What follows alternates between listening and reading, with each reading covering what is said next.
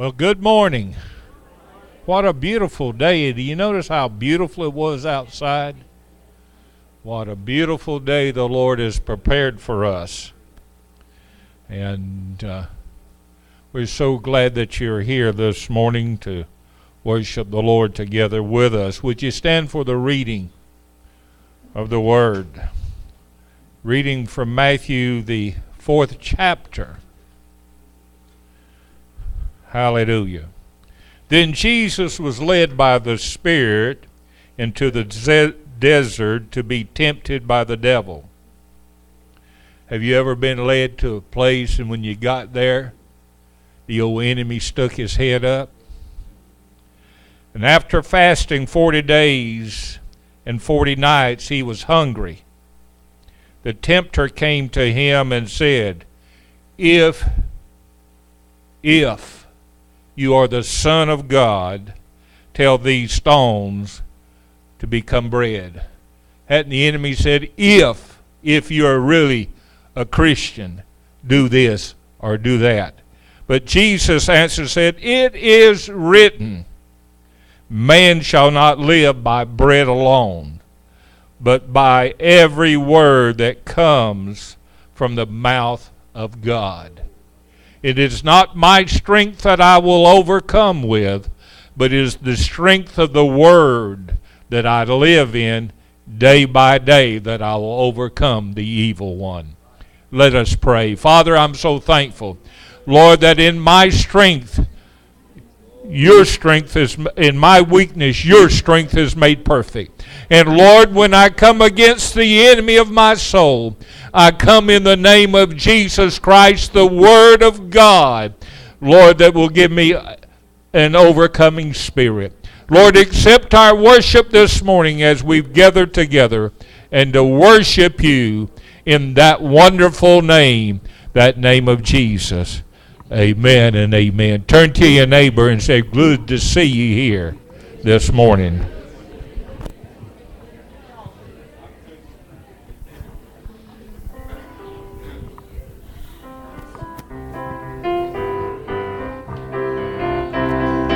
Down at the cross where my Savior died. Down where for cleansing from sin I cried. There to my heart was the blood applied. Glory to his name. Glory to his name. Glory to his name. Oh, there to my heart was the blood applied.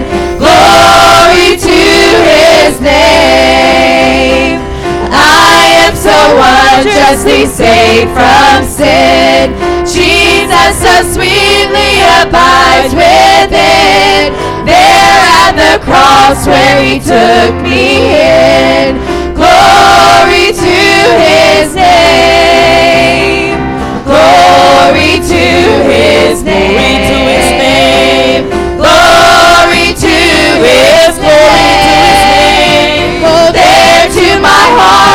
The blood of applied. Glory to his name. Oh, precious fountain that saves from sin. I am so glad Entered in. There Jesus saves me and keeps me clean. Glory to his name. Glory to his name. Glory to his name. There to my heart was the blood applied. Glory to his name.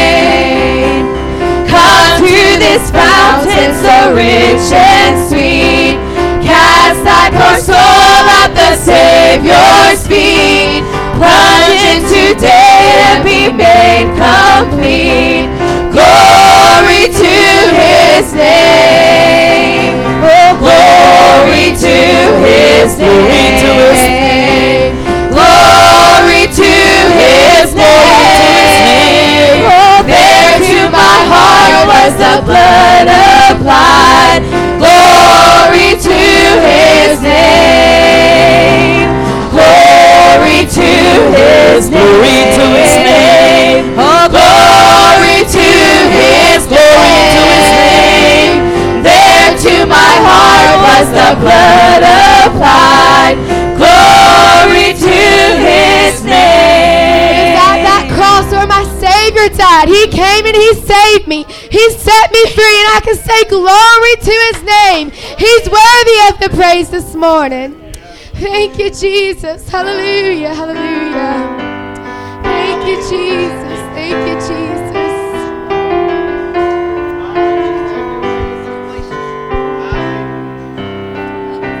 You are my strength when I am weak.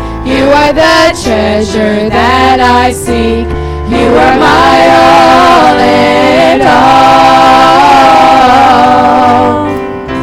Seeking you as a precious jewel. Lord, to give up, I'd be a fool.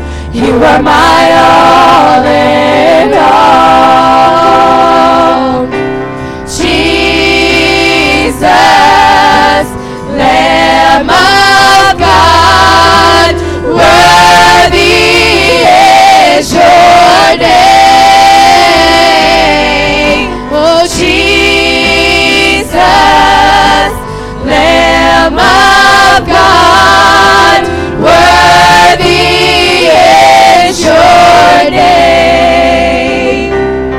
You are my strength when I am weak.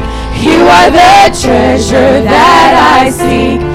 You are my all in all. Seeking you as a precious jewel. Lord, to give up, I'd be a fool. You are my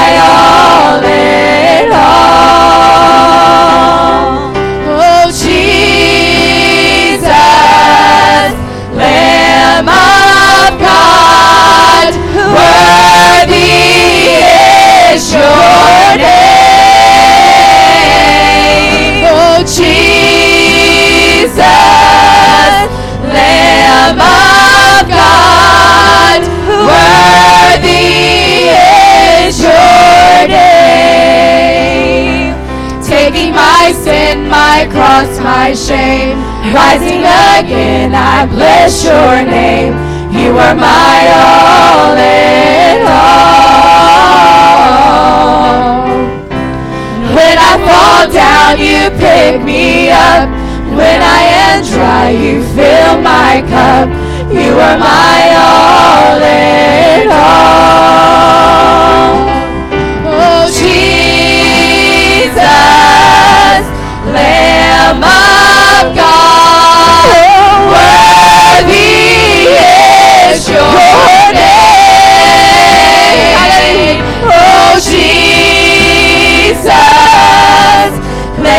Of God, worthy your name.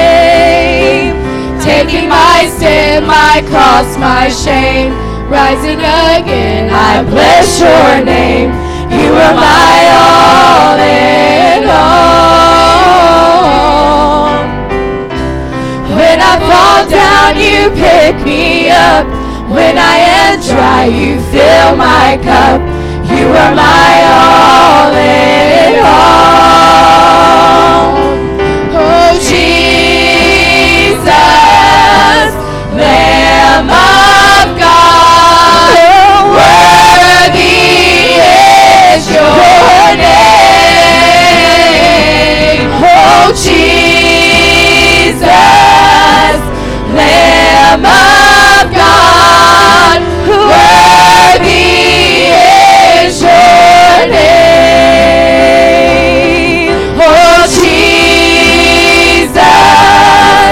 Lamb of God, worthy is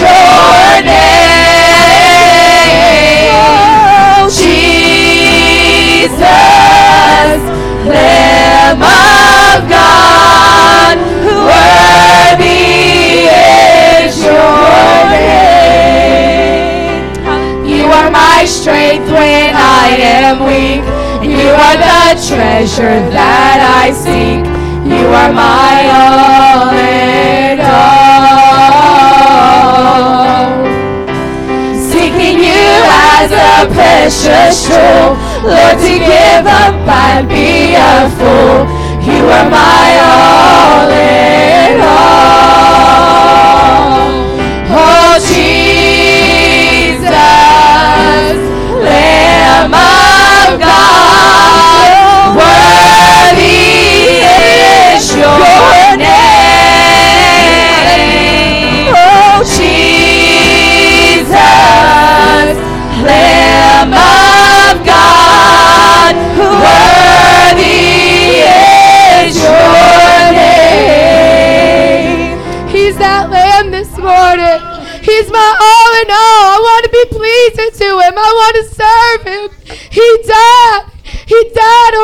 prosper us. Hallelujah. He's worthy this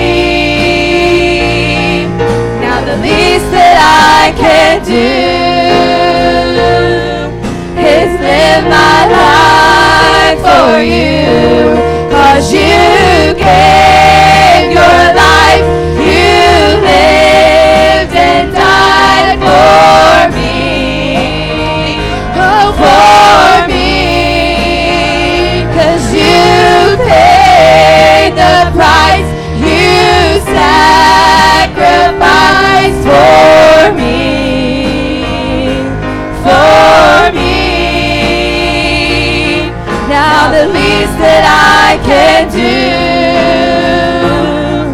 is live my life for you.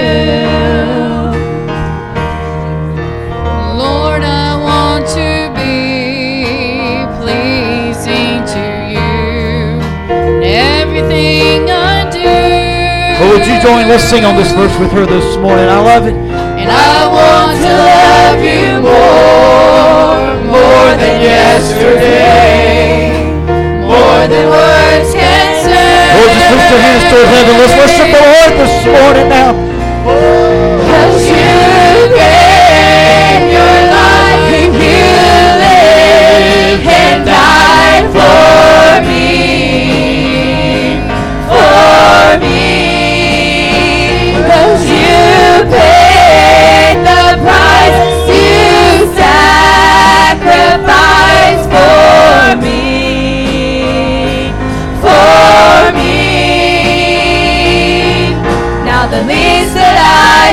do is live my life for you. Cause you gave your life, you lived and died for me.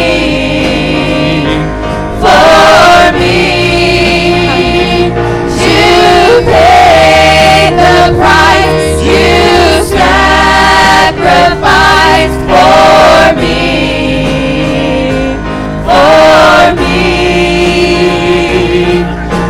The least that I can do is live my life for you. Well, let's sing this verse again as a congregation. Lord, I want to be pleasing to you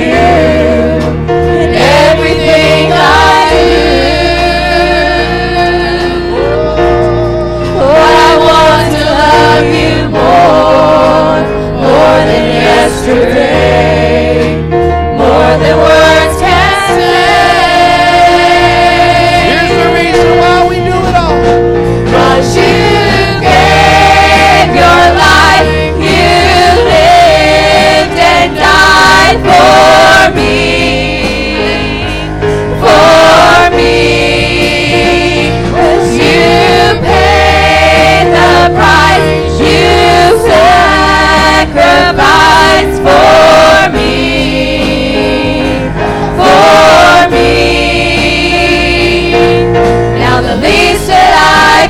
do is live my life for you. Oh, all across this building, would you just lift up holy hands unto the Lord this morning? Father, we love you today. Thank you for that price that was paid. Lord, your son's death on Calvary that we might be free. Lord, as we've gathered in this place this morning, it is only to lift up the name of Jesus, not to lift up man, not to lift up program, not to lift up talent, but to lift up that name that is above all other names, Lord, that we ever could think of. Lord, just move in this place this morning. The sweet Holy Ghost of heaven have his way. We will forever be grateful for it. In the name of Jesus we pray. Would you just give the Lord a hand clap of praise this morning? I mean, let him know you're thankful you're saved this morning. Amen. Hallelujah. Come on up, choir. We're going to continue to worship together in song. Grab you a red back hymnal there in front of you if you need it. And they'll be singing page number 130. 130. I never shall forget the day.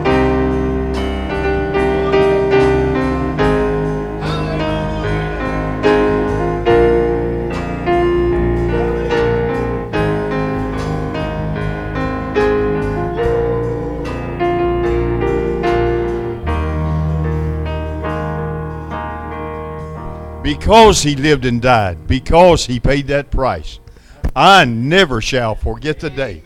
You see, because he changed my eternal destiny. He changed the goals of my life. He changed the purpose of my life. And he should have done that for you already. If he hasn't, this is your wonderful golden opportunity this morning.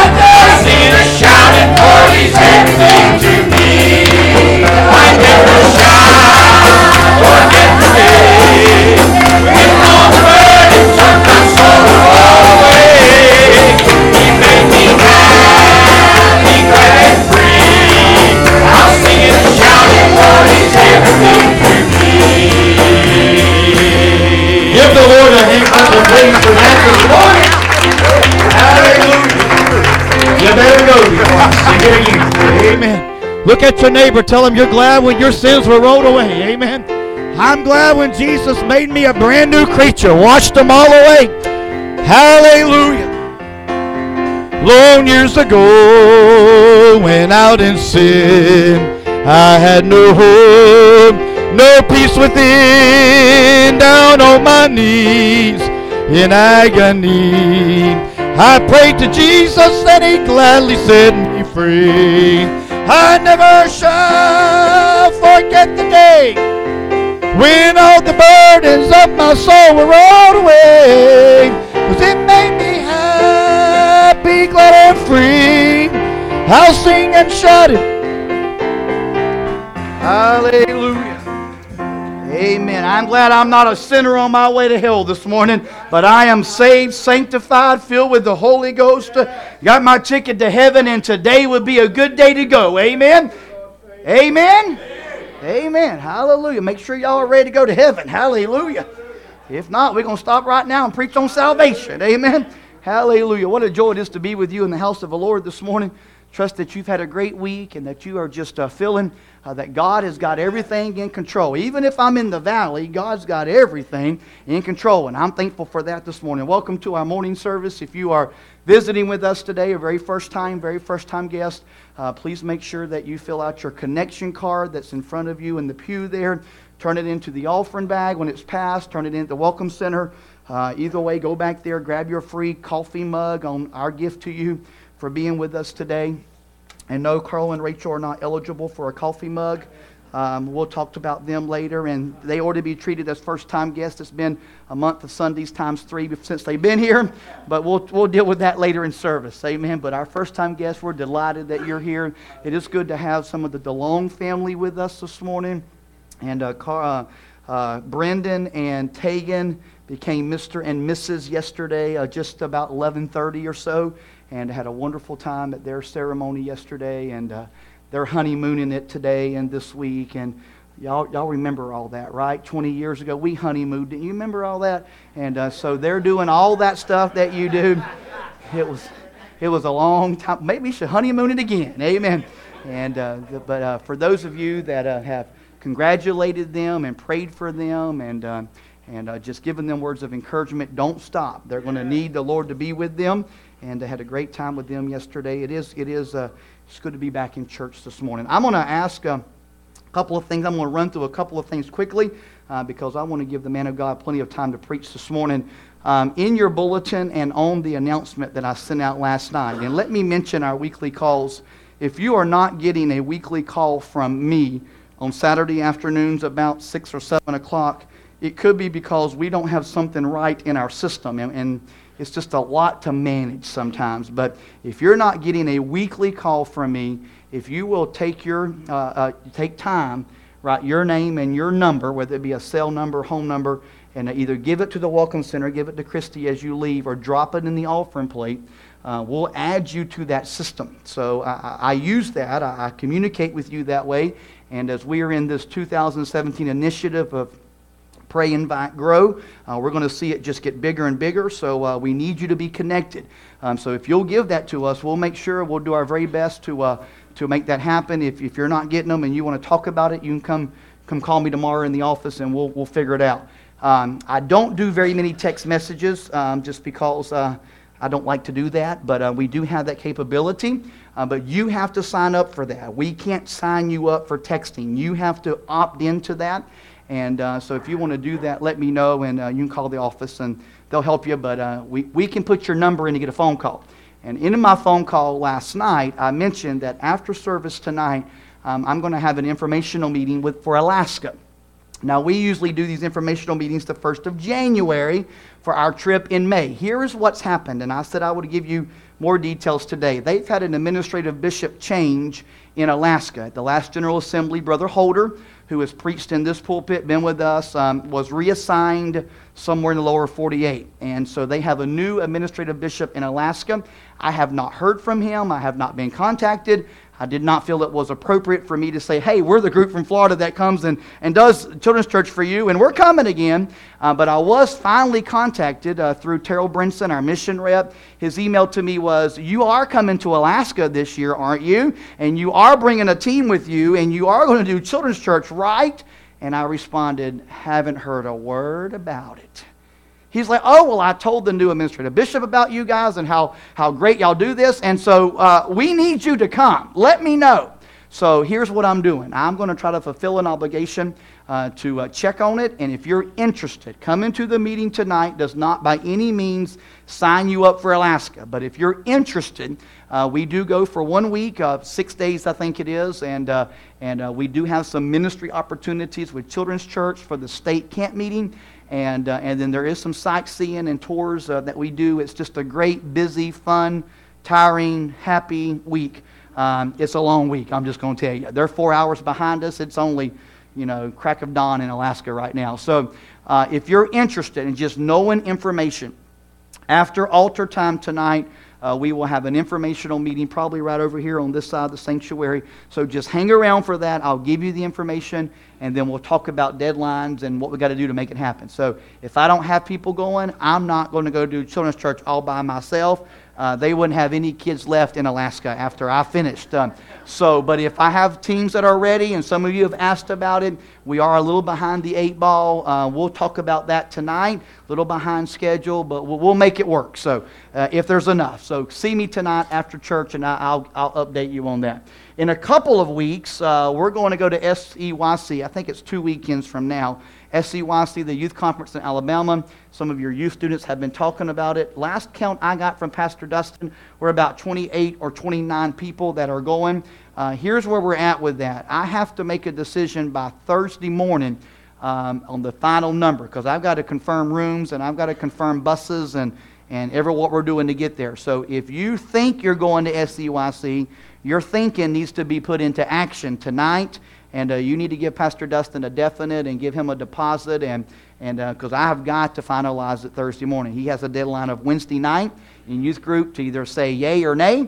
And uh, because depending on how many we have, we've got to finalize transportation. And, and I have to let them know a week ahead of time on what we're doing. So um, please don't be upset with me if you come to Thursday before and I tell you there's no more room um, we've got to make some decisions. We've known about it for months. Now, in saying that, um, uh, grandparents and, and prime timers and church attenders, I've got a few folks that I, I really would like to go um, but I'm going to have to help sponsor them. It's Kids Connected, maybe with our Wednesday night program or, or with our school program, that their parents are not connected. So, um, you know, they might can do 50 out of their savings account, but they don't have 100. If you can help me with that, if you'll let me know, and if you can't do it today, if you'll just drop me a note or, or see me or see Christy and say, hey, I'll, i can sponsor 50 bucks or 125 bucks. It's 125 to go. I've got a, I've got a few kids I really would like to, they need to get there um, and, and, um, and I'm trying to help them. But if you could help me do that, uh, that would be beneficial. And if you're adults and you want to go, we've got a few adults going this year. Going to have a great time, but I've got to have the final answers by Wednesday night or Thursday morning. We can take care of some obligations that we have with the transportation company and the hotels and getting us ready that one week, that one week out. Is that okay with everybody? I think it'll be fine. All right. Let me give you some good news. It's all been good news. Amen. Let me give you some more good news. On Thursday of this week, I go before the zoning board of Orange County. We mentioned this in our vision presentation a few weeks ago. Um, hoping to get approval from the zoning board to move forward with um, using our youth pastor's parsonage just behind us here uh, to the uh, east of us um, as our next phase for our school and Christian Academy, and uh, specifically for our preschool department, K3 and K4. And uh, that meeting is Thursday. Uh, it is customary that before the meeting, uh, they will give you a staff report. They will give you um, what they're thinking, what staff will recommend to the zoning board. And, um, and I was supposed to get it Friday or Monday, is what they told me. Thank God it came in the mail yesterday. I opened the mail, it was there, and I was happy. And uh, it's about three pages long. I won't give you all the details. I'll give you the Cliff Notes version. Uh, the Orange County Zoning Board Department will recommend to the zoning board that they approve our application uh, to move forward with expanding our school one more time um, into the youth pastor's parsonage over on 16th and moving our total student count from 95 or capacity from 95 to 140 and, uh, and uh, that's what we're hoping to do with all of this move. So um, that was exciting news yesterday. I opened that envelope, I called Wendy, and almost shouted over the phone uh, because that is a huge hurdle for us. There's a lot of work to do once we get through March 2nd. After we get through March 2nd and it's approved, and we feel it will be, there's a lot of work starting with uh, Pastor Dustin and Sister Holly have to move. And how long are we going to give them to move? Uh, I think they can do it in about a week, don't you think? So, no, it won't be quite that fast. We will work with the leadership team and a timeline to make that happen, uh, but that will be the first component is they have to move out of that location before we can uh, re- re- revamp it for what we're needing. Our goal is to launch um, the preschool, the full preschool department um, August 1st. They're about August 1st, get ready for the new school year. And so you pray for us as we're doing lots of transition. And um, yes, we are crazy. Yes, I have lost my mind. Um, but y'all have known that for years. So why, why change now? And it looks like we got a very favorable report from the, from the county. And, um, and I'm, I'm, that, that speaks very well of your church and uh, little to, they said there's been no issues we went through this process numerous times and they, they just see it as a continuation of what we're doing and, um, and actually have asked me to consider presenting to them what maybe a five or ten year plan is where they can maybe approve our, our plans or our desires um, all at one shot to, to help us long term so they're really they're, they're really knowing who we are. They really are supportive of what we're doing. Um, and, uh, and to God be the glory for that. Amen. And so uh, keep praying and let's keep moving forward. I'm going to ask the uh, five guys that helped me last Sunday to help me again uh, this Sunday. How many of you done your homework this week? All right. What was your homework? Your homework, we're in this pray, uh, invite, grow initiative for the theme for 2017. If they'll put that up on the screen for me. And uh, two weeks ago, I gave you the pray part of it. And, uh, and if you are, are behind schedule, let me update you. In your bulletin, there is a list of prayer requests that are there every week. At the bottom of the prayer request, there are alphabetical letters. And wherever your last name falls, whatever the first letter of your last name is in the bottom, that is the column that I'm asking you to pray for every single week. Uh, that is your homework. If, if we're going to be people of prayer, we've got to put prayer into action. Amen. We have to pray. And so, uh, a part of this pray, invite, grow concept is prayer. And uh, so, that is your homework. Now, this is the third Sunday I've mentioned your homework, and some, some of you have not done your homework yet. After three weeks of no homework, you're going to be called to the pastor's office, okay? Come on, guys, let's pray. And so, uh, so uh, I'm going to try to uh, not let you forget about it. May not mention it every Sunday, but but pray that that prayer concept is very important to us, and and so make sure you're doing the homework. Last week we introduced to you the invite concept, and uh, these guys have helped me again. How many of you invited somebody to church this week? Amen. And uh, I have prepared for you uh, cards has our church information, the back of it. You write your name, your phone number, and we gave everybody one last week. We're giving everybody one again this week. So if you invite somebody and they come next week, we'll have double the number we have right now. And you say, well, what are we going to do about that? Well, we'll talk about the grow concept later. Amen. It's going to happen. God's going to help us. And uh, we're seeing some great things already begin to take place. And I want to keep this in front of you for a few weeks because I don't want us to get, to, to get lazy. I don't want us to forget. I don't want it to be just a thing that we put on a board say, oh, that sounds great. Uh, it does sound great. And it's not because I, you know, I'm using it. It is great, but we've got to put it into action. And so when you go to dinner today or you're out doing shopping this week,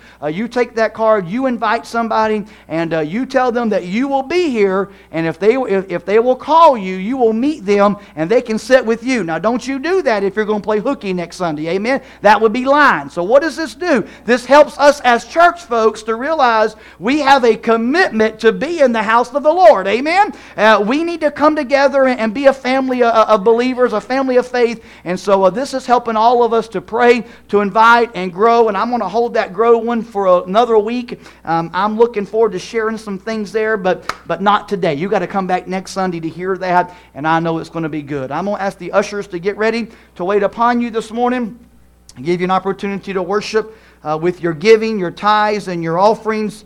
Uh, we have had just a wonderful few weeks of special guests with us. Last weekend, Joyce Igo and uh, Jimmy Smith. Uh, I'll mention our guests today, Carl and Rachel, again in just a moment. But let me bring you to next week. Next Sunday morning, we start revival. Uh, Brother Jonathan Church will be with us Sunday morning, Sunday night, Monday night, Tuesday night, Wednesday night. And I don't know if we've ever had a Sunday through Wednesday revival that, that I can remember, but it's only going through Wednesday night. And a couple reasons for that is uh, scheduling with our evangelist, and that is the same week of youth conference. So we'll church it Sunday through Wednesday.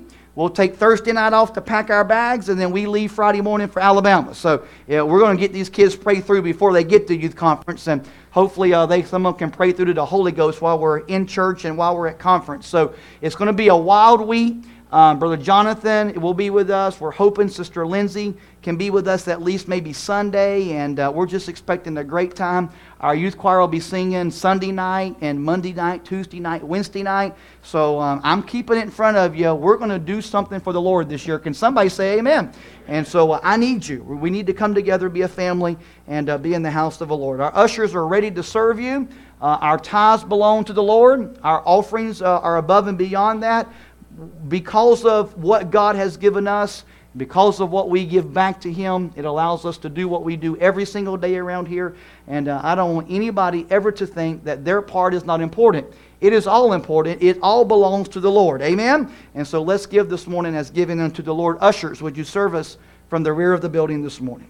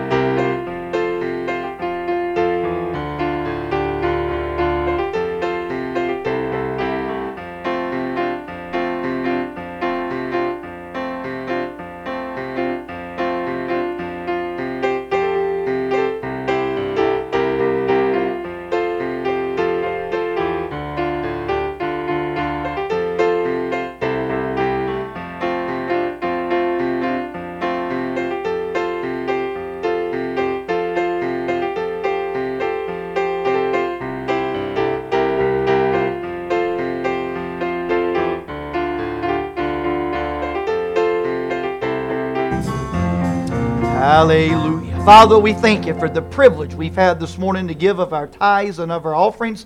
Pray, God, that you'll take it, multiply it for its intended use, bless the gift and the giver, and we will forever be grateful for it. In the name of Jesus, we pray. Everybody said, Amen. And amen. Thank you for your giving to the Lord this morning. Worship with Pastor Jeff as he ministers to you in song this morning.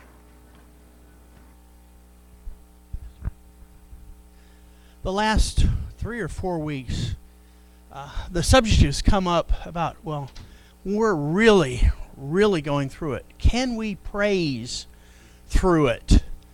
Uh, when I was in the Philippines, I was the uh, director of finance. It was my responsibility to show where every penny went, to uh, ask for the budget, to make sure that it was spent properly. And I got a new administrator, and um, he wanted more money. So when the exchange rate changed, he asked me to falsify my reports so that he could get more money. I knew the repercussions, but I could not do it.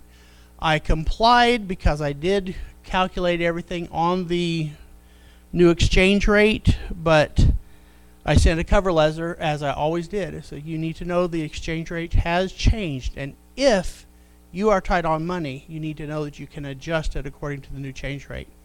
I was removed from financial responsibility the next day because I sent it before I gave him his copy. And after that, I was sent home. I loved what I did. I loved teaching. But because I was faithful, I was removed. Y'all have been, maybe not through some of the same things, but some of y'all have been through a rough, rough year. Billy and Nikki, there were some times you didn't know if you were going to live through it. Austin, to endure the fear, the pain of not knowing, of being concerned. But in the midst of that, in the midst of those moments, you've met face to face a God that's faithful.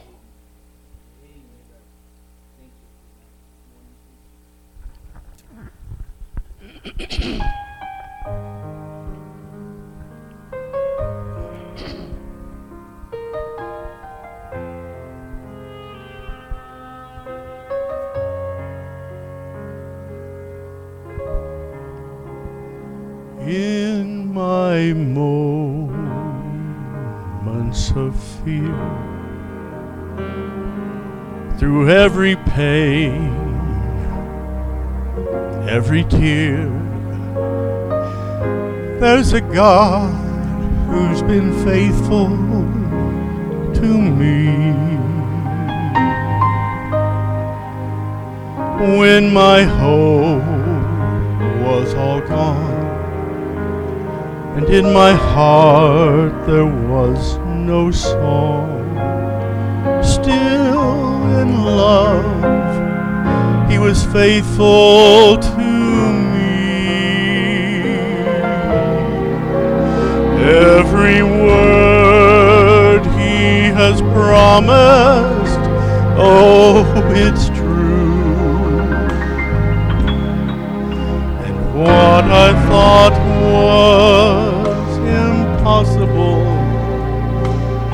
I've seen my God do. For he's been faithful, faithful to me looking back his love and mercy I see. Though in my heart I had questioned and even failed to believe but he's been faithful faithful to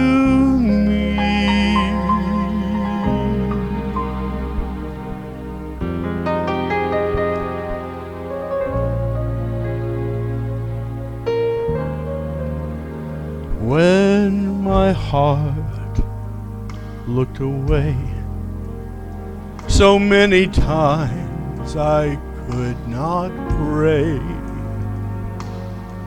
Even then he was faithful to me.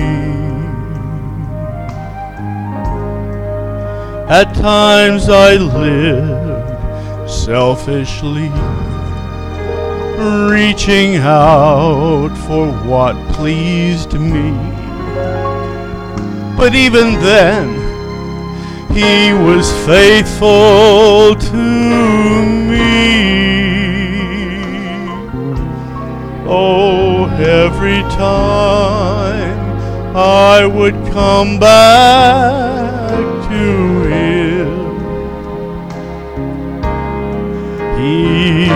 was waiting with open arms, and he'd prove once again that he's been faithful, so faithful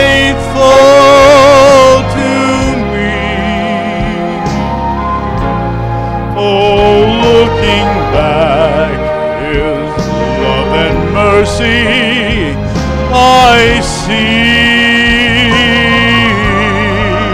Though in my heart I had questioned and even failed to believe, but He was faithful, faithful,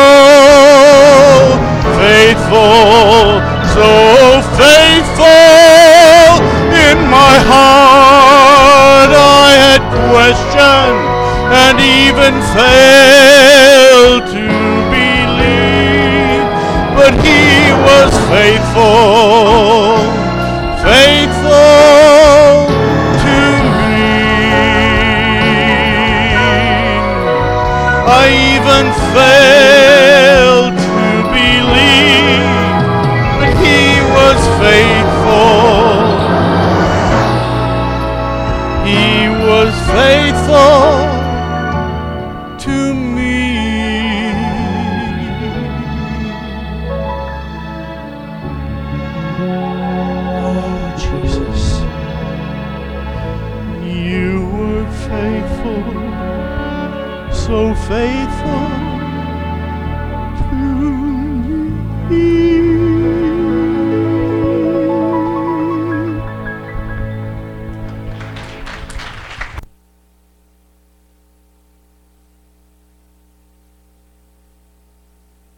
glad he's been faithful? Can anybody attest to his faithfulness this morning? Amen. What a joy it is to have with us Bishop Carl and Rachel Thomas, no strangers to this pulpit. However, it has been a long month of Sundays. We are uh, delighted that they are with us in the house of the Lord today. Uh, regardless of where they live, regardless of where God takes them, um, I consider this to be their home, whether they do or not. Amen? And uh, we just are going to be stubborn in some areas. And uh, how many of you have never heard the ministry of Brother Carl and Sister Thomas? This will be your first time. Anybody? Couple folks. We got a couple new families since we were uh, they were here last. So um, it's all yours, buddy. You're on display one more time. Amen.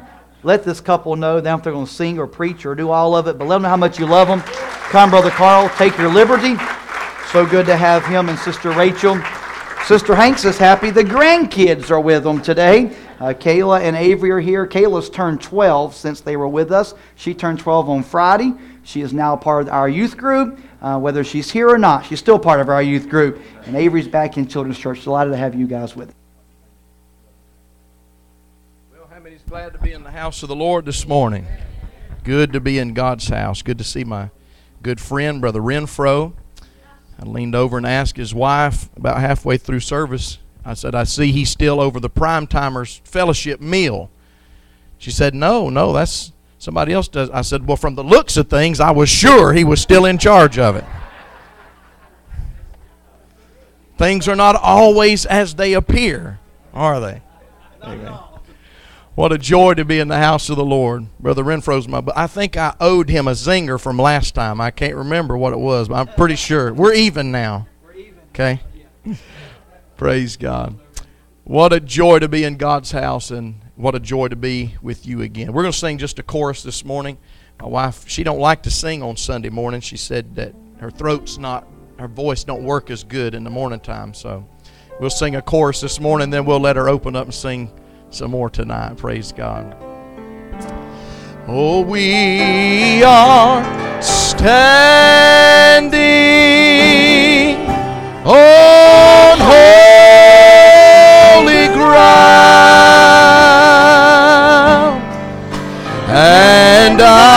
I know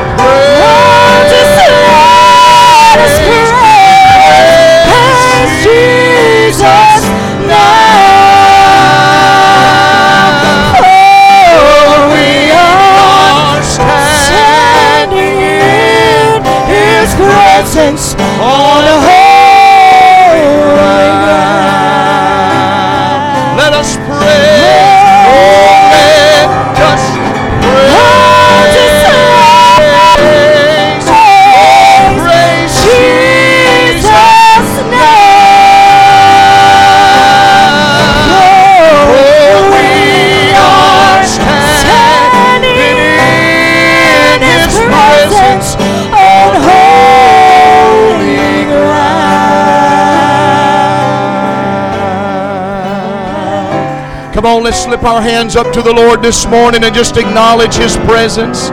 Thank you, Lord Jesus. Thank you, Lord, that we're not alone today. Hallelujah.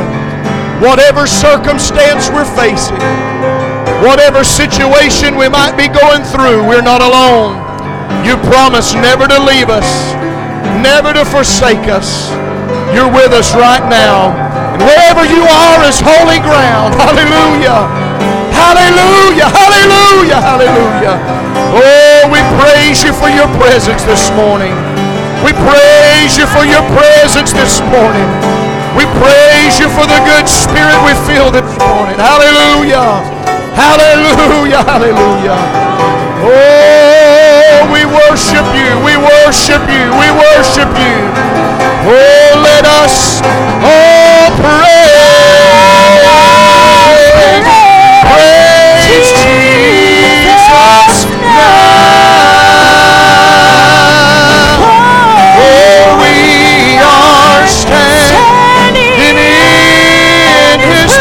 Presence on holy ground.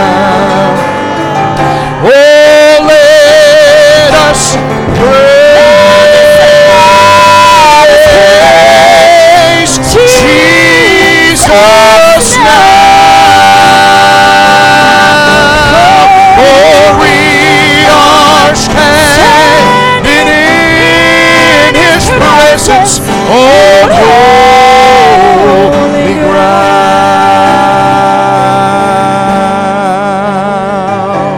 Hallelujah. Give the Lord a good hand of praise this morning. Hallelujah. We worship and adore you, Jesus. Blessed be your name. Blessed be your name. If you would remain standing just for a moment as we read our scripture text together.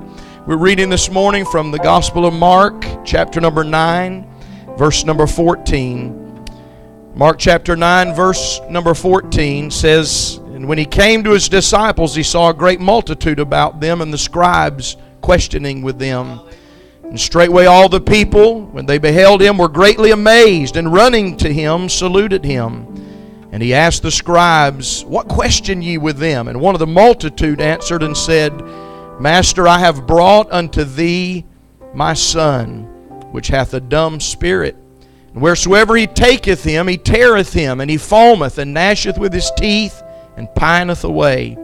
And I spake to thy disciples that they should cast him out, and they could not. He answereth him and saith, O faithless generation, how long shall I be with you? How long shall I suffer you? Bring him unto me. And they brought him unto him, and when he saw him, straightway the Spirit tear him, and he fell on the ground and wallowed, foaming. And he asked his father, How long is it ago since this came unto him? And he said, Of a child. And oft times it hath cast him into the fire and into the waters to destroy him.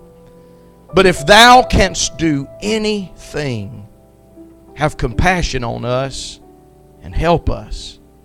Jesus said unto him, If thou canst believe, all things are possible to him that believeth. Somebody say amen right there.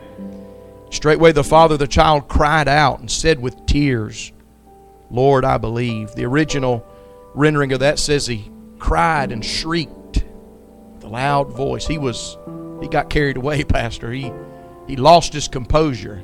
Doesn't just mean a tear trickled down his face. It means he got excited. He got beside himself. Cries out to Jesus, Lord, I do believe. Help mine unbelief. When Jesus saw that the people came running together, he rebuked the foul spirit and said unto him, Thou dumb and deaf spirit, I charge thee, come out of him and enter no more into him. And the spirit cried and rent him sore and came out of him, and he was as one dead, insomuch that many said, He is dead. But Jesus took him by the hand and lifted him up, and he arose. Hallelujah. I want to preach for just a few minutes this morning, if the Lord will help me, about the importance of bringing somebody to Jesus. Bring somebody to Jesus.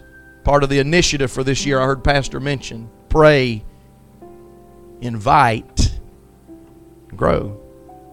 Emphasizing that second part this morning, Pastor invite. Do you know that the vast majority, I don't remember the exact statistic, Papa Hanks probably knows, it's probably in his book. But the statistics prove that the vast majority of people who come to Christ come by personal invitation. There's a few that get saved by hearing a preacher on the radio, some on television, some receive a gospel tract, but the vast majority come to Christ because somebody took the time to introduce them to Jesus. Now, that's a good statistic. The, the, the negative side of that statistic is that only 4 to 5% of church members have ever brought anybody to Jesus. We're going to talk about that just a little bit this morning about the importance of bringing somebody to Jesus. Father, would you help us this morning? We thank you for the good spirit that we've already experienced here. We know that you're with us. We know we're on holy ground. Your presence is here this morning, and we just ask that you would continue to move and minister, touch every heart and every life, stir us and challenge us through your word this morning. Let the quickening power of your spirit rest upon us today. Anoint us with fresh oil. Let our hearts be inclined to you, Lord. Let our hearts be encouraged by you today. And have your way in the altar, we pray, at the conclusion of the service. And everybody said, Amen, amen. and amen. In Jesus' name. Be seated today in the presence of the Lord. You know, there are several directions that I, I wanted to go with this message today. It's it, when I first started preaching, I spent all of my time trying to find what to say, and it seems like the longer I live and the longer I am in the ministry, my biggest job now is finding out what to call. I can't tell you everything I read on any given subject in one other. Otherwise, every message would become a, a, a series, and a, and I can't do that today. But I had to kind of go through and call some things. But just as a way of laying a foundation, I wanted to share with you something uh, interesting that I found in the scripture. You know, Andrew is one of the disciples of Jesus. In fact, he was one of the very first ones that Jesus called from the seashore there in Galilee. Saw him there with his brother mending his nets, and, and uh, Jesus said to them, Follow after me, and I'll make you fishers of men. Instead of being commercial fishermen, I'll make you fishers of men. And uh, we remember that story, but I noticed something about Andrew. You don't hear him mentioned a whole lot throughout the rest of the New Testament. In fact, there's only three or four times that I was able to find where there's anything significant really said about him. He's almost kind of a background kind of character. He, he, he did, there's no book of Andrew in the Bible. We're not reading from the Gospel of Andrew. You've never heard the pastor say, turn to Saint Andrew. It, it, he just seems to kind of take a, a maybe what we would call a backseat role as far as some of the other disciples are concerned. Even his own brother, Simon Peter, he was very boisterous. And you know, Peter walked on water to go to Jesus, and Peter was the, the, the, the keynote speaker on the day of Pentecost. And, and preached that great inaugural sermon whenever 3,000 souls were born again. And, and uh, Peter has a little bit of notoriety, some, some not so good. You know, he, he's well known for a variety of reasons, but uh, he gave us the, the epistles of 1st and, and 2nd Peter in the Word of God. So he has a very prominent place in the history of the Word of God, but you don't see that about Andrew. But what I wanted to point out to you this morning is that without Andrew, there would be no Simon Peter. What got my mind kind of got the wheels turning in this direction? Sister Hanks was sharing with me this morning early some about her uh, testimony and how she came to Christ and how Brother Hanks came to Christ. And she mentioned something, I've heard them tell this before, but she mentioned something, and, and I thought that goes right along with what I'm talking about today. Uh, the, the biggest influence in Brother Hanks' life and Sister Hanks' life was a couple named Brother Will and Huline Coppage. They were neighbors and they were friends, and, uh, and and Brother Hanks was friends with their son, and it, it, it created a, a, a history and a relationship that's lasted to the present day. But they were probably the greatest gospel light. Uh, there were others, no doubt, that shared their faith. There were others, no doubt, that lived a life before them. But this couple was, uh, was really instrumental in leading them to Christ and demonstrating for them and living a life before them what it means to be a child of God. Now, I didn't bother to ask the question, but I, I'm not sure if Brother Will or Sister Huline Coppage ever left this country and went to a foreign mission field. As far as I know, they did not. They never left this country and went on a foreign missions trip. But how many understand that because of the investment that they made in the life of these individuals, Brother Hanks has worked in 49 countries of the world, building churches, building orphanages. And I'm not just saying that because he's my father in law this morning. I, it's just fresh on my mind because of our conversation. Uh, the, the, the beautiful thing about the scripture is that if Andrew had not went and found his brother, and when you read the account in the Gospel of John, it says he findeth his brother Simon Peter. When, Andrew decided to be a fisher of men and be a soul winner, he, he started at home. He started with his own friend, his own brother, uh, his his own friend, no doubt, and companion, but his own flesh and blood brother. He went to Simon Peter and said, "Come, we we found the Messiah." And I think that's a beautiful illustration. Peter went on and had notoriety, and Peter went on and was well known, and Peter went on and preached on the day of Pentecost. It wasn't Andrew; it was Peter that did that. It wasn't Andrew that wrote First and Second Peter, but they we never would have read of the miracles. We never would read those epistles if Andrew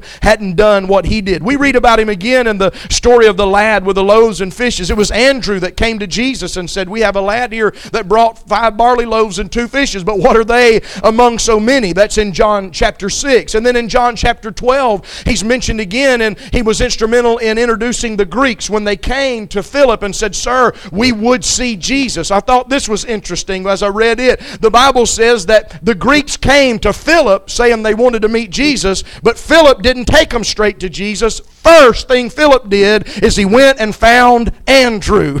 the Bible said Philip went to Andrew and then the two of them together. I'm thinking if maybe maybe Philip understood nobody can lead anybody to Jesus like Andrew can. Nobody can make the acquaintance. Nobody can make the introduction. It seems to me there's something there. Why would Philip go to Andrew first and then say we need somebody that'll lead these men and introduce them to Jesus? And so, I, you know, one thought leads to another. I, I went to Mark chapter 2 and the story of the man that was a paralytic and was not able to get to Jesus on his own. And it required four friends to pick him up and carry him. And you know the story. They came to the place where Jesus was, and there was no room to get in, not even about the door, the Bible said. It was standing room only. And so they climbed up on the roof and they uncovered the roof where he was. And they let down the bed wherein the sick of the palsy lay. But there's something that's so important in that, in that passage of Scripture. Verse number five says, When Jesus saw their faith. It doesn't say anything at all about the paralytic man. It doesn't say that he was uh, that he believed in Jesus. It doesn't say he was a follower of Christ.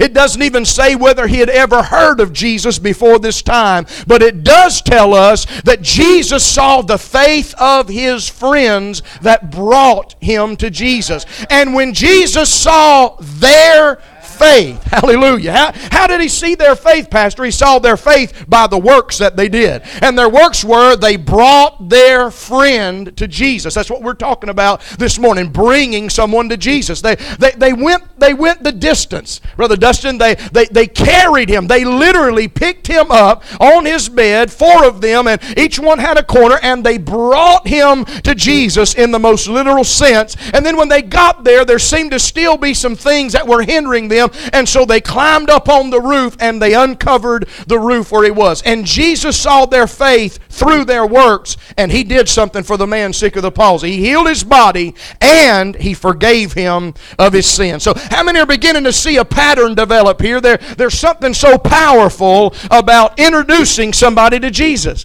uh, about bringing somebody to Jesus, whether it's your friend, whether it's your, your brother, your next of kin, as was the case with Andrew. And, and so the Lord led me to this passage in Mark chapter 9. This one's a little bit different, but the idea, uh, you know, the gist of it is still the same. This time it's a father and his son. But the father did the same thing as Andrew, and he did the same thing as the four friends of the paralytic man. He brought his son to Jesus. His son had an issue, his son had a need. He, he'd already ascertained that he was possessed of the devil, and he came first to the disciples, and they were unable to help him. And so he came to Jesus and, and, and he told his story to Jesus. And I love this about what happens in the next few verses of Scripture. I want to break it down just a little bit for us this morning. I feel like I'm, I'm talking to individuals today that probably have family members that are unsaved. Anybody here got anybody unsaved in your family? Anybody? Yeah, that's about most of us. Very, very few of us can lift our hand and say everybody in the household is saved. Maybe in your immediate family, but most of us, we've got a brother or a sister or a, a niece or a nephew or, or somebody that's very dear to our heart that is uh, not saved, and we have a burden for them. And so I want us to see this pattern of what happened when this father brought his son to Jesus. Number one, I want you to see that, that Jesus cared enough to take his case. When I first started reading this passage of Scripture, what stood out to me was the, was the, the group of people that was gathered there. The Bible said there was a multitude. And the Bible said there were scribes there. And the Bible said the disciples were there and then this man and his son, they were just a part of the multitude. So all, all three of these groups represent a different, uh, a different uh, ideology and a different type of person. The disciples of Jesus, of course, we know who they are. And then the great multitude, that's just kind of any and everybody. That's just, that's just average Joe off the street. That, that's your neighbors and your co-workers and people that live in your community. And then there's the scribes that are a part of this conversation in verse 14. The scribes are the those that were, were doctors of the law. There are those that were skilled experts, and there are those that were very knowledgeable, and they were those that were probably doing most of the talking and asking the questions. And, and then the Bible says in verse 15, all the people, when they beheld Jesus, were greatly amazed, and they ran to him and saluted him. And it was Jesus that asked the scribes, What question ye with them? Jesus, Jesus got right to the heart of the matter. And I love how this father speaks up and says, Master, I brought unto thee my son son which hath a dumb spirit. And he told about what happens to him. He gnashes with his teeth, he foams at the mouth, he, he falls down and has fits, and your disciples couldn't do anything for him. And I love that Jesus, that I want you to notice that the last four words of verse number 19. If you have a study Bible or one that you don't mind writing in, you ought to just underline that or highlight it or put it in parentheses or something. It's so powerful to me and it blesses me every time I look at it. Jesus said these words after he expressed his, his disappointment and his frustration that they didn't have any faith. Oh, faithless generation, how long shall I bear with you? How long shall I suffer you? But the last four words are the most important to me. Some of y'all are already ahead of me. You know where I'm going. Jesus said these four words Bring him unto me. Woo! Hallelujah. That's shouting ground right there. Have you ever called and tried to get an appointment with a doctor to find out that they were booked out two months in advance? Or three? I called a doctor one day and was told this Dr. So and so is not accepting any new patients. I didn't even know that was possible. How, I mean, how can, you, how can a doctor just say, I'm not seeing anybody? I'm, I got all the patients I can handle?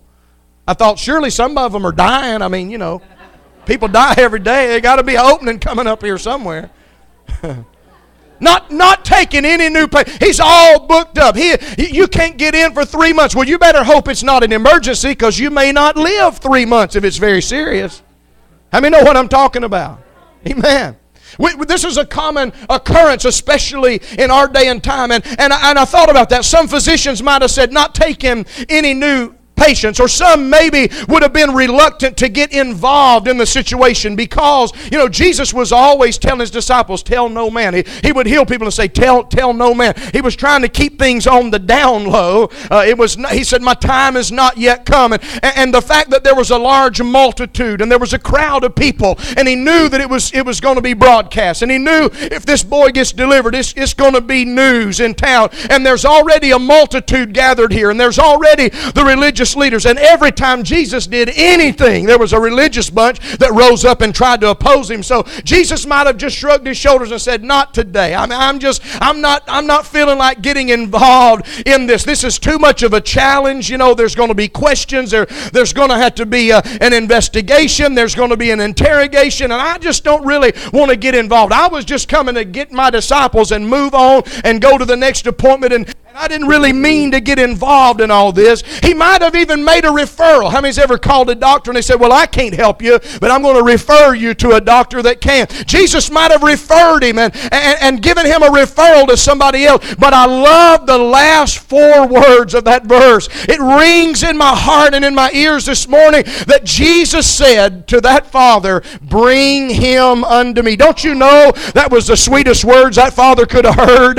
Amen. He had tried everything. He had been everywhere. He'd done everything he could think of to do. And to hear Jesus say, I'll take his case. Bring him unto me. Don't you know Jesus is still saying that this morning? Ladies and gentlemen, he's the same Jesus that said, Come unto me, all you who labor and are heavy laden, and I will give you rest. He st- that, that invitation still stands this morning. There's never been an expiration date put on that. Jesus is still saying, saying to the lost and the bound and the confused and the hurt and the broken, Come unto me and I will give you rest. I, I, I just can't get away from the fact that Jesus cared enough to take his case. Amen. And said, Bring him unto me. He, that father knows business is about to pick up, things are about to get better. Amen. Others would have referred him out, others would have passed on his case, others would have said, We're not taking any new patients, but not so with Jesus, the great physician. He's the one that can and will. Hallelujah. He's able, but more than that, Pastor Odom, he's willing. Amen. It wouldn't, you know, he wouldn't be much of a savior if he had all this power and all this authority and all this might and dominion and ability if he was too busy doing other things and didn't have time for it. It wouldn't matter how much he knew. It wouldn't matter how skilled he was. It wouldn't matter how, how much healing was in his hands. If he wasn't willing to disperse it, if he wasn't willing to release it, how many hear what I'm saying this morning? The fact that he is not only able, but he is willing to help us is what makes me want to shout this morning. Hallelujah. Amen. Finding somebody that's able is only half the battle. Finding somebody that is willing to take the time to deal with our issues is what it's all about. And Jesus said, Bring him to me. And then I, I noticed something uh, else in this passage in verse 21. And this really, I'm be honest with you, I'm being transparent this morning. Hopefully, not too transparent. I don't want you to lose confidence in me, think I'm not spiritual, but this is one of those times I, I, I, was sitting in my, I actually was sitting uh, in my office at my desk, and I, I had to kind of stop and scratch my head a little bit and just kind of push back and, and uh, ponder. I, I, said, Lord, I can't wrap my head around this. There, I know there's every word of God Uh, in the Bible, I believe, is God breathed, it's God inspired. Every jot, every tittle, there's nothing in there by mistake mistake. Everything in there's got a purpose and a reason, but I, I just wasn't understanding what it was. I could not get my head wrapped around verse 21 when the boy fell on the ground, starts having a fit. He's foaming at the mouth. King James Bible said he wallowed foaming. I don't know exactly what that means, but it sounds ugly. Amen. He wallowed on the ground. He's foaming at the mouth. It's as if he's having some type of an epileptic fit or something. He's, he's in a seizure. He's having some kind of a, a, a of a of a display. That you know, the devil that possessed him was manifesting. I think that'd be the right word. The, the demon starts manifesting, and and Jesus turns around and looks at the father and said. How long's he been doing this? That didn't bother any of y'all? You never wondered about that? I'm thinking, what difference does it make? Who cares if it started when he was six or he was nine? Some of y'all are scared to say anything. Y'all don't have no idea where I'm going with it. Don't get nervous. It'll be all right. I said, Lord, I don't understand. Jesus, why, why would you stop when this boy is flailing around like a fish on the ground, you know, a fish out of water, and he's flopping, he's obviously in trouble. He needs help. The father has been seeing this day after day. He, he, he's, he's bound to him. He's got to be his personal caregiver, and he's come to you for help. And you want to stop and talk about how, how old was he when this started? How long ago did this come upon him. And the father said, Since he was a child, he's been this way a long time. I'm thinking to myself, all of those questions could have been answered after he got helped. Now, maybe I, maybe I took this kind of personally because several years ago I had a, a an attack of kidney stones and I thought I was going to die. And for a few minutes there, I, I, wished I would die because death would have been sweet relief. I said, To be absent from the body is to be present with the Lord. Hallelujah. There won't be no kidney stones in heaven. Amen. Hallelujah. You ought to shout about that if you ever had one. Praise God.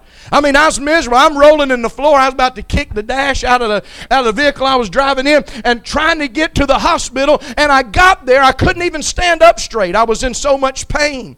And I was I was in such a bad shape. Had to bring a wheelchair out and wheel me in. And this smart aleck lady wanted to know what my phone number was, when I was born, my social security number. I couldn't even think what my name was, hardly. I mean, I'm sitting there with my head on a stranger's desk, about to throw up and having spasms and, and just thinking I'm dying. And, and you know, I just, I'll, I'll, spare the details. It was a very uncomfortable kind of situation, I just tell you. And she wants to know my birthday, and she wants to know my social security number. And, my, and I'm thinking, and finally I did look up and I said, Ma'am, is there any way we could do all this after I get a shot?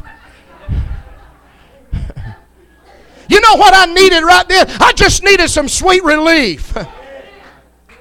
And, and, I'd been down that road before. I'd had these things before. And I knew, I even knew, I told the doctor what medicine to give me because I'd been down that road before. I, I said, I just need a shot of so and so. And they knew just exactly what to do. The lady was apologetic. Oh, I'm so sorry, sir. Yeah, we can finish filling this out. I said, I'd be so grateful. I'm in a terrible shape. Why can't we ask the questions after some relief comes? And so I feel like I got a revelation here.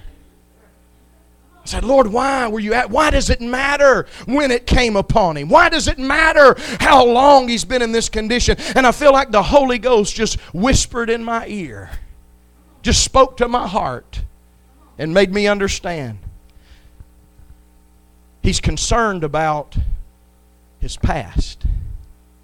See, what Jesus knew is that this boy didn't just wake up this morning possessed of the devil. He didn't just roll out of bed and start having these fits. Something happened a long time ago. A door was opened in his life. He got involved in something. He was a he was he encountered something. He got entangled. He got wrapped up in something. There was there was an invitation. How many know the devil don't just come in and take over at will? Somebody he comes knocking, but somebody had to open the door and let him in. That's why your Bible said neither give place to the devil. And so Jesus said, "Listen, I don't know how long he's been in this condition. Jesus knew he had the help he needed. He knew that he was going to be fine. He wasn't concerned about him dying like I was because he's Jesus and he knew he was about to fix everything. But he, he wanted that father to know, I believe, I'm not just interested in putting a band aid on him. Come on, somebody. I'm not just interested in fixing him for today. I'm not just interested in him getting up off the floor flopping like a fish. I want to know how long he's been this way. I want to go back to the root of the problem. I want to take it all the way back. I'm going to hit the rewind button and go all the way back to where it started and make sure we deal with the root cause and make sure we deal with the real issue. So I just thought I'd tell somebody this morning when you bring somebody to Jesus, number one, point number one is he will take their case. And we see that in the scripture. And number two, we'll find out that he is concerned about their past. Hallelujah. He's concerned about every hurt. He's concerned about every heartache. He's concerned about every disappointment, every frustration, every mark, every scar, every wound that you bear, every disappointment, every betrayal. He wants to know all there is to know about your past. I think the reason this impacted me so much when the Lord started dealing with my heart about it is because I've been praying for some loved ones. I got a few relatives on my prayer list. Okay, some of them are very close in my immediate family, and some of them are extended family, like cousins and you know first cousins of people. I grew up very close to them. We went to the same school. We attended the same church. We went to the same revival meetings and vacation Bible school, and and and we had so much in common. And yet the lifestyle that we live today is totally opposite. The things that I love and, and my life revolves around, they have nothing to do with. And the things that they do and the places they go and the activities they're involved in is completely foreign to me. We don't have that. I mean, we might have some resemblance. We might have the same, uh, you know, eye color. We might have some the same color hair, and maybe the same physique and the same shape of lips or whatever. There's some there's some family resemblance that you cannot deny. But as far as our lifestyle is concerned, we're polar opposite from one another and I pray for them, and I, I'm concerned about them, and, and I bring them before the Lord. And, and, and there's a few of them that have made it clear that they want to serve the Lord. They have a desire to be right with God, but this is their hang up and this is their hold up. They're afraid they've been too bad. They're afraid they've, they've, they've resisted the Lord too long. They're afraid that they've gotten too dirty in sin. Am I preaching to anybody here this morning? They're afraid they've gone too far, they've gotten too dirty, and there's a couple of them, and I've, I've seen this in their life. They're doing everything in their power to try to clean themselves up. They're trying to clean up. They, they think if they can quit dipping, then they can come to church and get saved. They think if they can get off the bottle, then they can come, then they'll have something to offer to the Lord. They think they can clean themselves up and they can act better and do better and get rid of their bad habits, and then they'll have something that's worthy to offer the Lord. And they don't understand when you come to Jesus, you come just as you are. Hallelujah. You come with your brokenness, you come with your emptiness, you come, amen, with your wounds and your scars. And so this really spoke volumes to me that Jesus was interested interested in this young man's past history. And then we get to the next verse, verse 23. Jesus had already dealt with the issue of unbelief previously in this passage, but now he's talking about having faith. He said to the Father, If thou canst believe. He's letting him know it doesn't matter how long he's been this way. It doesn't matter that he's been this way of a child. It doesn't matter that you, you it's been so long you can't remember when he was any different. How many's ever prayed for somebody and it looked like they got worse instead of better? I'm not looking. You can raise your hand. Praise God. Don't point at nobody here, please. Has ever prayed for somebody it looked like they got meaner instead of sweeter? that means your prayer's working. Keep on praying. Hallelujah. Amen. Jesus wasn't only concerned about his past history, Jesus was concerned about his here and now. Because when Jesus said to the Father, If you can believe, ladies and gentlemen, that's present tense. That means it doesn't matter how long he's been this way, it doesn't matter what happened to get him in this condition. I'm here today, and if you can believe me, then all things are possible to him that believeth. Hallelujah. Oh, I want to ask somebody, How is your faith this morning? Uh, how's your faith level? You know, we, we check the battery life on our cell phone, and we check the gas gauge in our automobile to see whether we got enough to make the distance. I wish we had a faith gauge this morning. Uh, I wish we had an indicator this morning we could look at and we could tell whether we've got our faith full this morning. Uh, are we running on empty or is our faith tank full this morning? Uh, Jesus said, Listen, man, I don't care how long he's been this way, I don't care how desperate things have gotten. If you can believe right now, if you can believe in the here and the now, I've already heard about his yesterday yesterday, but I'm telling you, you brought him to me today. And if you have faith today, all things are possible to him that believeth. Hallelujah. Oh, praise God. That's something to shout about this morning. All things are possible. And then it gets better. I didn't think it could get much better. And I got to verse 25. verse 25, Jesus cast the devil, commanded the devil to come out of him, and the Bible says that the unclean spirit came out. And I thought, you know, he could have stopped right there. Jesus came and he served an eviction notice on the devil. Pastor must think he's the devil because he took the eviction.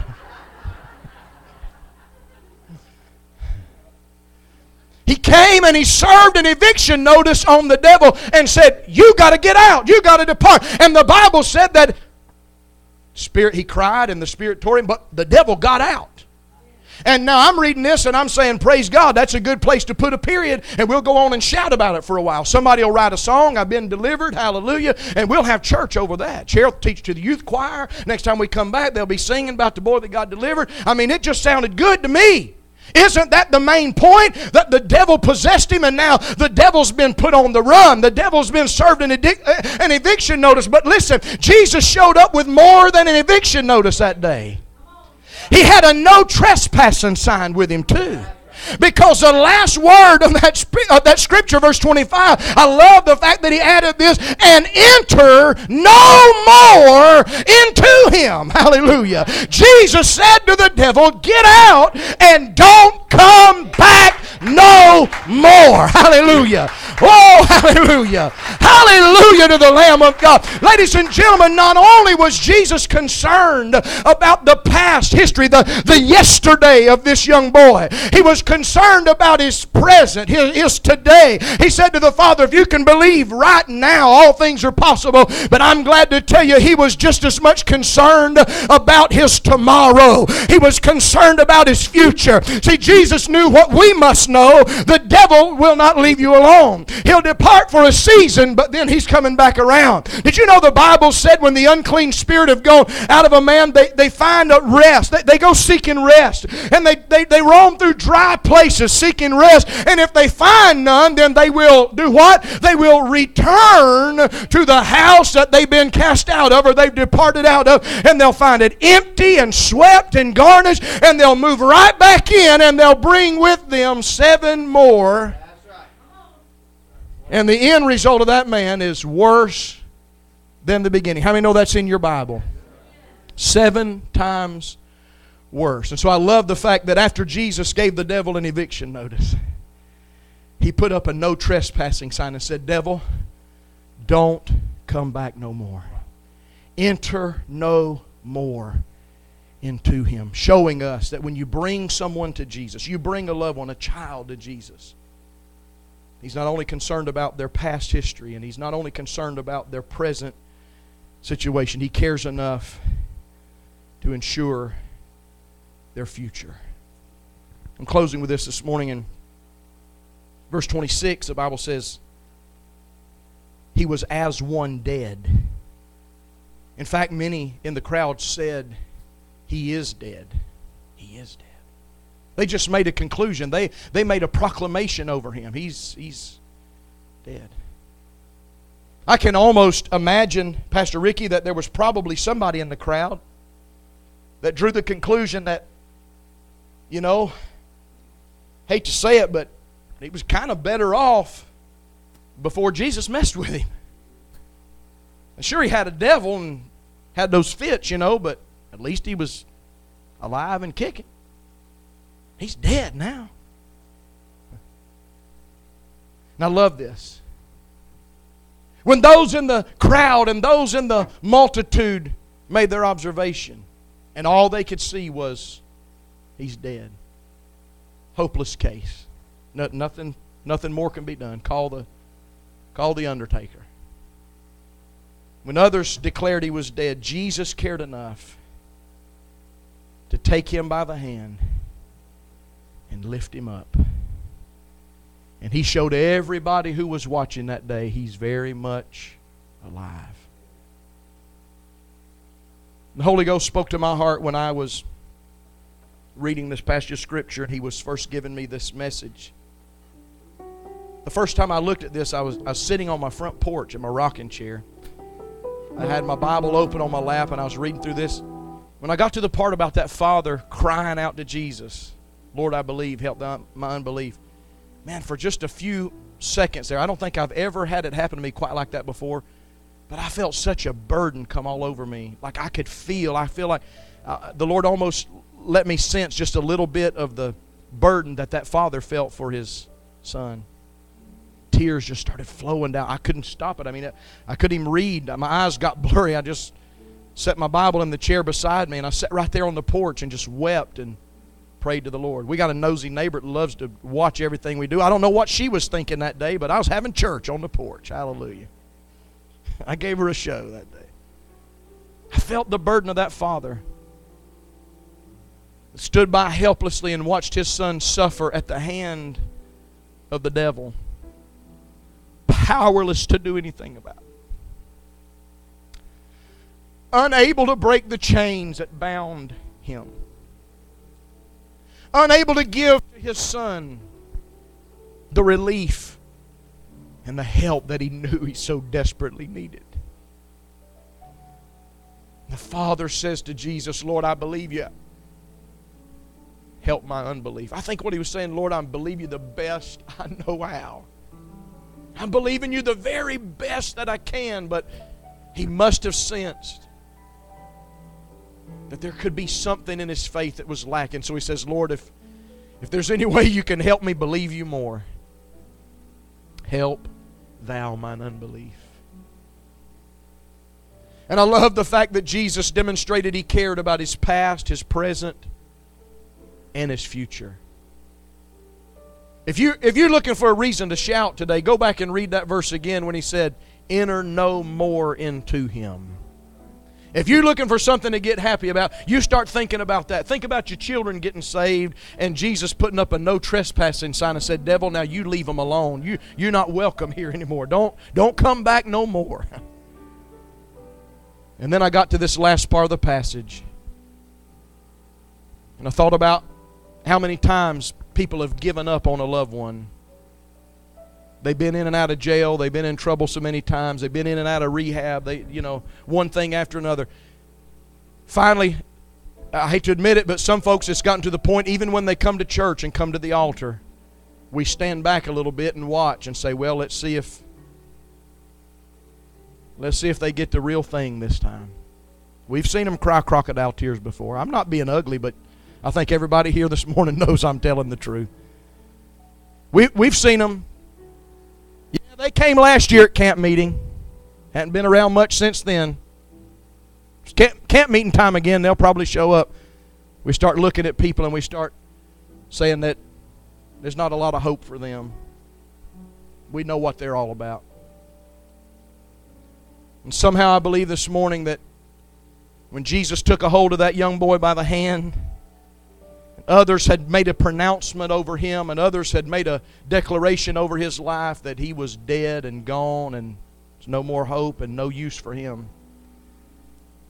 Brother Renfro, when Jesus took him by the hand, he lifted him up. This is what I wrote in my notes. Everybody in the crowd was putting him down. Everybody in the crowd was ready to write his obituary. Everybody in the crowd was ready to say, So long, farewell. But in one gracious act of mercy, Jesus took him by the hand and he lifted him up. And he proved to everybody there that he was very much alive. Hallelujah. I'll tell you something. When you bring your loved ones to Jesus, even those that look like a hopeless cause and a hopeless case, He has a way of touching them and lifting them up and giving them life. Stand with me all over the house this morning. If Andrew hadn't brought his brother Simon Peter, we never would have read about Peter's sermon on the day of Pentecost. If the four friends had not brought the paralytic man to Jesus in Mark chapter 2, we would have never read that great account and that story of a man being saved and healed when Jesus saw the faith of his friends. I want to challenge you this morning to be a soul winner. I want us to pray as we close the service this morning, and I want us to ask the Lord to lay somebody on our heart. Maybe there's somebody already in your mind. While I've been preaching this morning, you've already you've already got somebody in mind. You know exactly who it is that you carry a burden for. Maybe it's your children, grandchildren, brother, sister, whoever.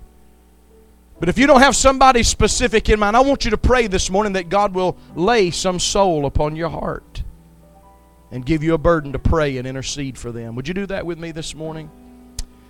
Heavenly Father, we love you this day. We're so grateful and so thankful for your good presence. Thank you for the word of the Lord. Thank you for the touch that we've received this morning, the encouragement, the edifying, the uplifting. We ask you to help us today. I know I'm preaching to men and women this morning that have loved ones who are unsaved, they have children, brothers and sisters maybe parents who are unsaved and undone outside the ark of safety. I pray, God, that you will move us with compassion for the lost this morning. Let us have a burden to bring some soul to Jesus. Give us a burden. Move us with compassion for the lost, oh God. Make us soul winners. Let my life be a light shining out through the night. Hallelujah. May I help struggling ones to the fold. Give me souls for my hire, Lord. Let my life be on fire. Save my children. Hallelujah. Save our loved ones, Lord. Save our household. Thank you, Jesus. Thank you, Jesus. Thank you, Jesus. This may seem a little odd or a little strange to you, but I, I pray about the end of the service as much as I do what to preach. Because how we treat this word from the Lord and how we receive it is very, very important. We can be hearers and we can go about our merry way, or, or we can be doers of the word. And I feel like the Holy Ghost directed me this morning. I know it's getting late, but just give me about five more minutes if you would. I want to ask you this morning if, if there's somebody on your heart, if there's a, a loved one or a friend or a neighbor or a coworker or somebody that you've had a burden for, to bring them to Jesus, to introduce them to Jesus. I wish you would step out from where you're standing this morning and walk down to the front of this church symbolically. I know they're not here this morning with you, but I want you to step forward this morning just as if you're bringing them to Jesus. You're coming to this altar. You're coming to this place of surrender. You're coming to this place where men and women meet Christ. And as you walk this morning, I want you to walk in faith and say, Lord, lay some soul upon my heart. Come on, begin to step out right now in Jesus' name. Meet me around this altar. Lord, give me a burden for a lost friend, a lost loved one, a relative, a neighbor, a cousin, somebody that needs you, Lord.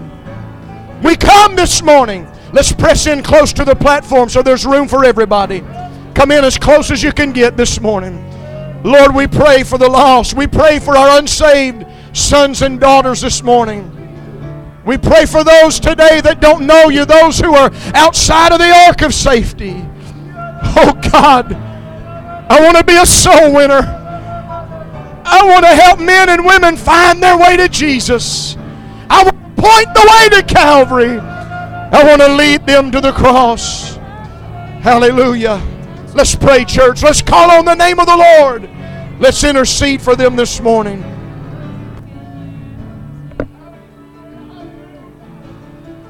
If you can use anything, Lord, use me. If you can use anything, Lord, can use me. Take my hands, Lord, and my feet. Touch my heart, speak through me. If you can use anything, Lord, can use me. If you can use anything, Lord, you can use me. If you can use anything, Lord, you can use me. Take my hands and my feet, touch my heart, speak through me. If you can use anything, Lord, can use me.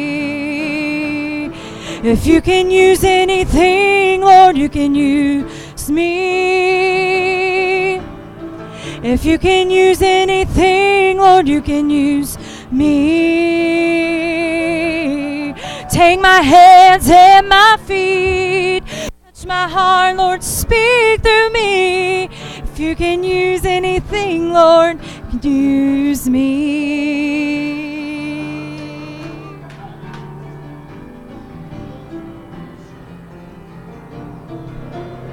Let us be a soul winner, Lord. Let our light shine for Jesus. Let us be the salt of the earth Let and the light of the world. Blessed Lord, in the light of Hallelujah.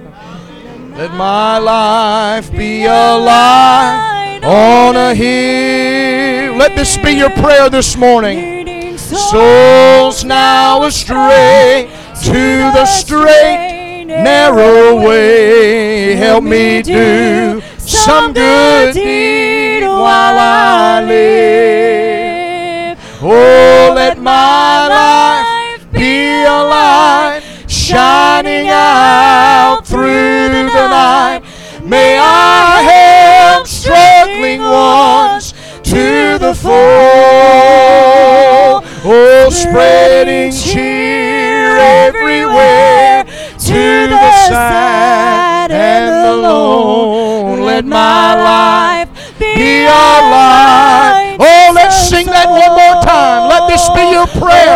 Let my life be a light shining out through the night. Oh, may I help struggling ones to the fold,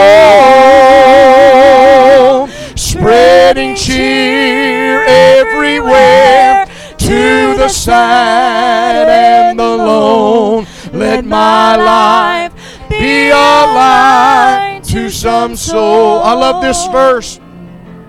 Give me souls for my heart. Let my life be on fire. Shining out, shining out to the world as a God. Help me rescue someone. And help me rescue someone. Seeking now, now with no hope that in heaven we shall ever.